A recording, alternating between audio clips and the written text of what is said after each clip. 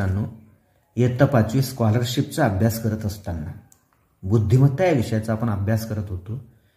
आणि बुद्धिमत्ता या विषयातील सांकेतिक भाषा आणि सांकेतिक भाषेवर आधारित अंकांसाठी अंकांचा वापर करून प्रश्न कसे सोडवायचे कोणत्या नियमानुसार ते अंक वापरलेत याच्यावर अभ्यास आपण मागील तासात केला. मागील व्हिडिओमध्ये आपण पाहिलं. आजच्या आपल्या या भागात पुन्हा एकदा एका नवीन सांकेतिक भाषेचा आपण या ठिकाणी विचार करणार आहोत. अक्षरांसाठी अंकांचा वापर. एखादं अक्षर आपल्याला दिलं असेल तर त्या अक्षरासाठी अंकांचा वापर करून जी सांकेतिक भाषा आपल्याला दिली त्या सांकेतिक भाषेचा उपयोग करून प्रश्न सोडवायचे कसे यावर आपण या ठिकाणी चर्चा करणार आहोत. तत्पूर्वी आपण आमच्या यूट्यूब चॅनलवर नवीन असाल तर अशाच प्रकारचे scholarship N M M S M T S किंवा कुठल्याही स्पर्धा परीक्षेसाठी आवश्यक असणारे व्हिडिओ पाहण्यासाठी आमच्या यूट्यूब चॅनलला सबस्क्राईब करा. व्हिडिओ आवडल्यास लाईक आणि कमेंट करा. व्हिडिओ इतरांना सुद्धा शेअर करा. जेणेकरून इतरांचा सुद्धा फायदा त्या ठिकाणी होऊ शकतो. चला तर मग स्वाध्याय दहा पॉईंट दोनमधील काही प्रश्नांचा आपण या ठिकाणी सराव करून घेऊया. एका सांकेतिक भाषेत अहमदनगर हा शब्द एक दोन तीन चार पाच सहा सात असा लिहितात. तर ह्याच सांकेतिक भाषेत हरदम हा शब्द कसा लिहिणार? हरदम. आता अहमदनगर या शब्दामधील प्रत्येक अक्षर एकमेकां भिन्न आहे.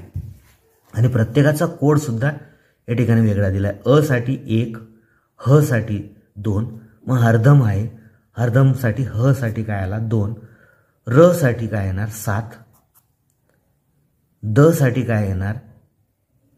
एक दोन तीन चार नंबरचं म्हणजे चार. आणि म साठी काय येणार? तीन. सत्तावीस त्रेचाळीस हे आपलं उत्तर येणार आहे म्हणून पर्याय नंबर आपला तीन.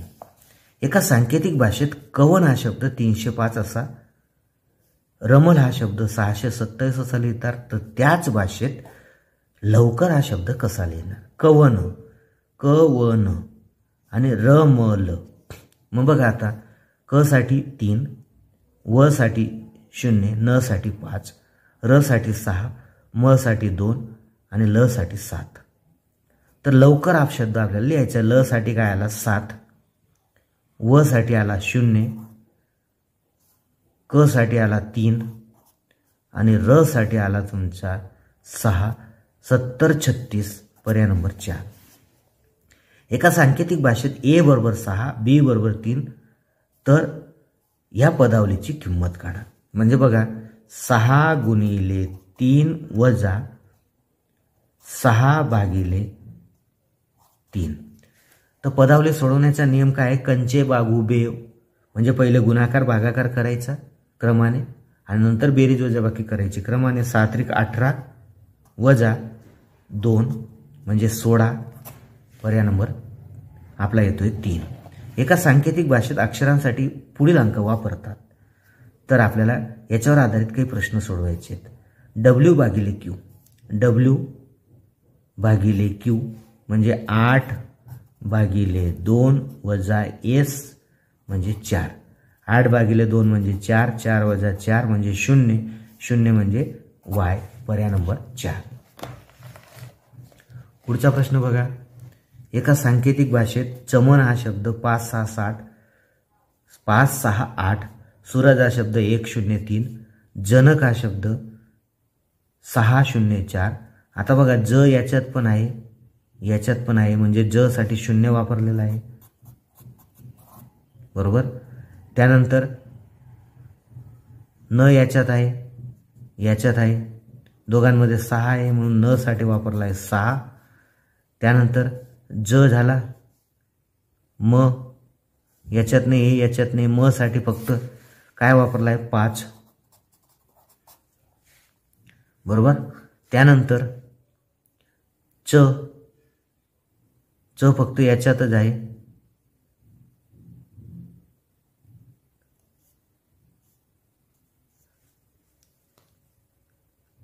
तर पाच किंवा आठ याच्या उलट सुलट होऊ शकतं. आता चसाठी च पहिलं आहे म्हणून चसाठी पाच वापरून घेऊ आपण.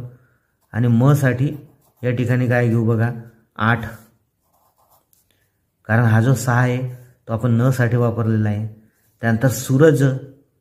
सूरज स. आपल्याला चमक पाहिजे. च आणि म आणि क पाहिजे. म साठी आठ आपण घेतला. त्यानंतर च साठी पाच घेतला. आणि म साठी मग आता काय घ्यायचं बघा? हा म आहे. च म क क साठी आपण घेतला. क फक्त याच्यात आहे. क साठी आपण चार घेऊ शकतो. म्हणजे बघा चार पाच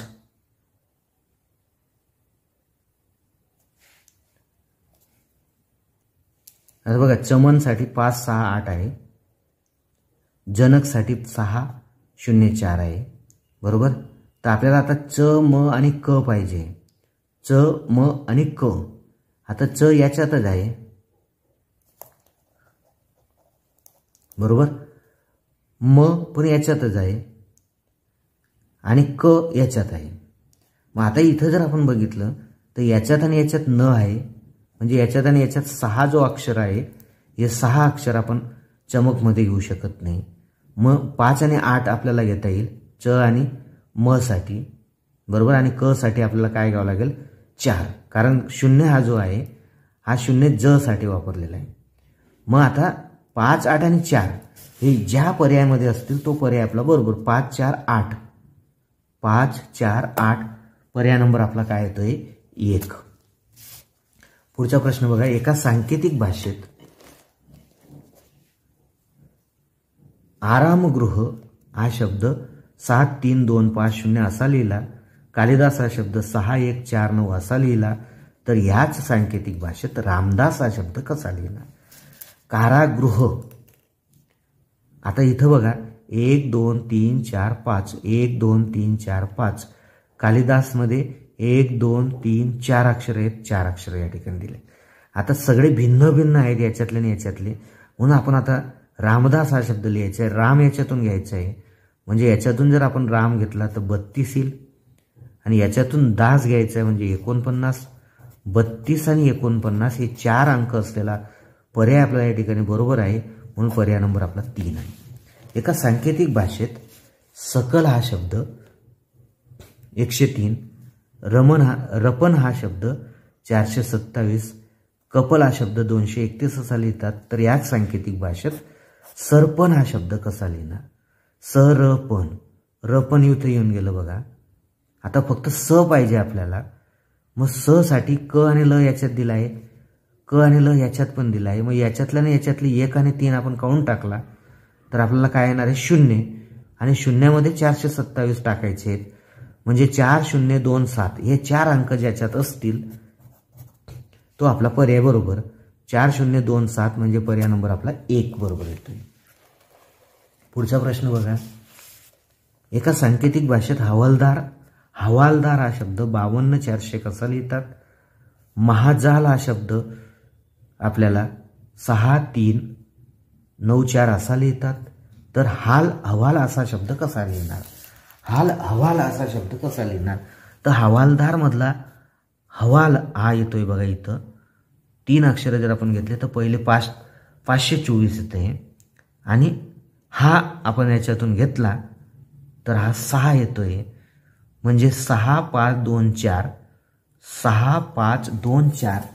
हा शब्द कसा लिहिणार? नाही तीन. महासाठी काय घेतलाय? तीन. म्हणजे तीन पाच दोन चार. तीन पाच दोन चार. हवाला शब्द. हाल नाही ल पण आहे हां. मग ल साठी आता आपल्याला काय घ्यावं लागेल बघा? इकडे पण ल आहे इकडे पण ल आहे. दोघांमध्ये असलेला कॉमन अंक बघा कोणता आहे? चार दोघांमध्ये येतो मग व लसाठी चार घेतलेला आहे.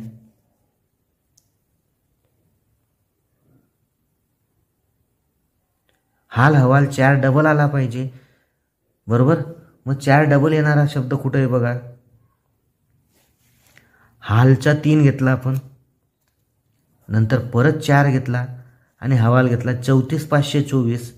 पर्याय नंबर आपला तीन बरोबर येतोय बघा. चौतीस पाचशे चोवीस. पुढचा प्रश्न बघा एका सांकेतिक भाषेत सामना हा शब्द पाचशे एकोणतीस असा लिहितात सातारा शब्द चारशे सत्तावीस असा लिहितात तर मखर हा शब्द आठशे एकोणतीस असा लिहितात तर साखर हा शब्द कसा लिहिणार?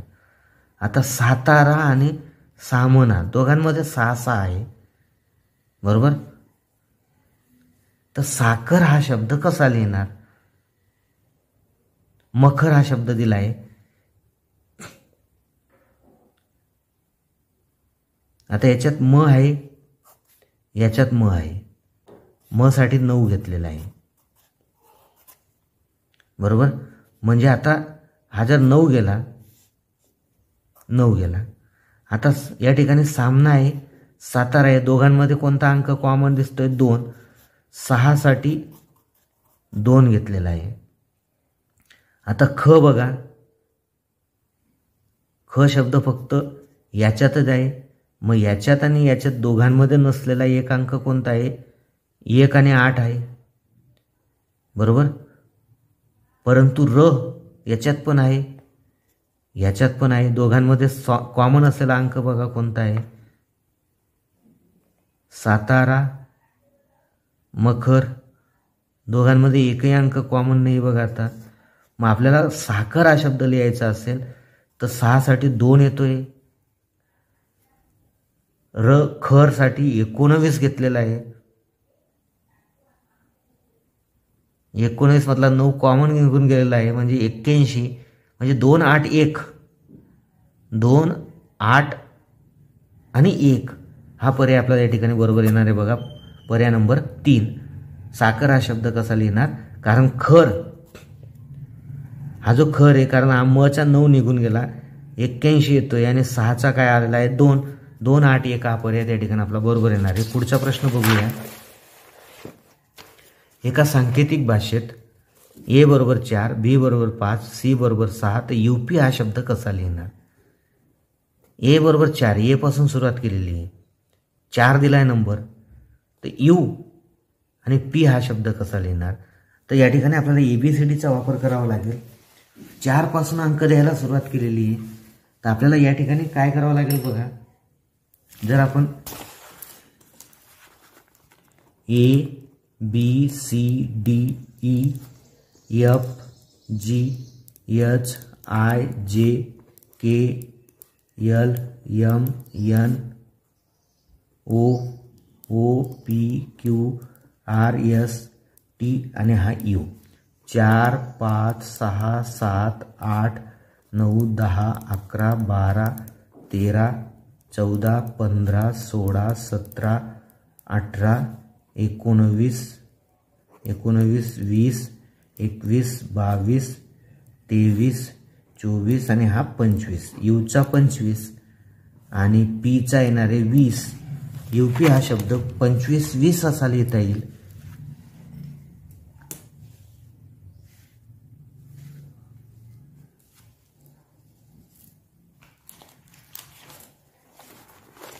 ए बरोबर चार बी बरोबर पाच सहा चार पाच सहा सात आठ नऊ दहा अकरा बारा तेरा चौदा पंधरा सोळा सतरा अठरा एम एन ओ पीचा आला वीस क्यू एकवीस बावीस तेवीस चोवीस पंचवीस. पंचवीस येतोय.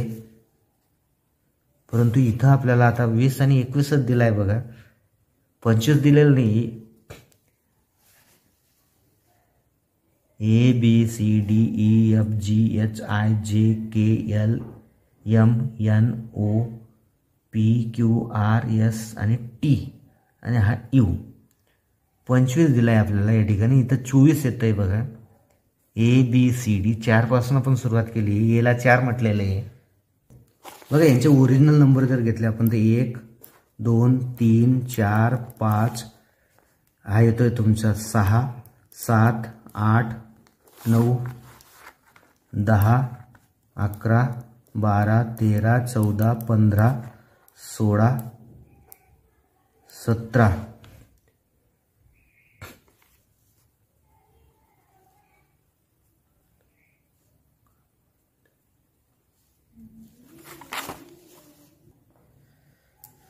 आता बघा इथं काय झालेलं नीट लक्षात घ्या.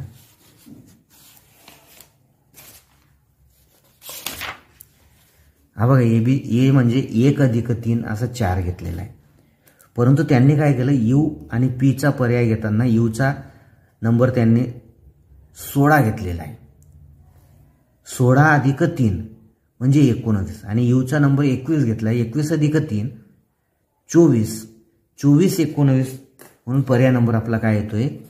दोन येतोय. परंतु ॲक्च्युली जर आपण बघितलं तर पीचा नंबर सतरा आहे. म्हणजे तो वीस आला पाहिजे होता. आणि यूचा नंबर बावीस आहे तो पंचवीस आला पाहिजे. होता म्हणजे पंचवीस वीस असं उत्तर आलं पाहिजे होतं परंतु इथं चोवीस एकोणीस दिलेलं आहे एका सांकेतिक भाषेत कडस हा शब्द नऊशे एकतीस असा लिहितात. तर त्या सांकेतिक भाषेत सकड हा शब्द कसा लिहिणार? कडस नऊ तीन एक. तर सकड हा शब्द कसा लिहाल? एक नऊ आणि तीन. एकशे त्र्याण्णव असा लिहिता येईल पर्याय नंबर तीन. एका सांकेतिक भाषेत पेन हा शब्द तीनशे बहात्तर असा लिहितात रन हा शब्द सातशे पंचेचाळीस असा लिहितात पूट हा शब्द पाचशे एकोणतीस असा लिहितात. तर याच्यात जर आपण बघितलं तर P E N R U N N दोघांमध्ये आहे म्हणून एनची किंमत सात आली. त्यानंतर याच्यात आणि याच्यात बघा पी कॉमन आहे. दोघांमध्ये कॉमन असलेला अंक आहे दोन. पीची किंमत आली दोन. बरोबर? त्यानंतर एन झाला. याच्यात आणि याच्यात पी झाला.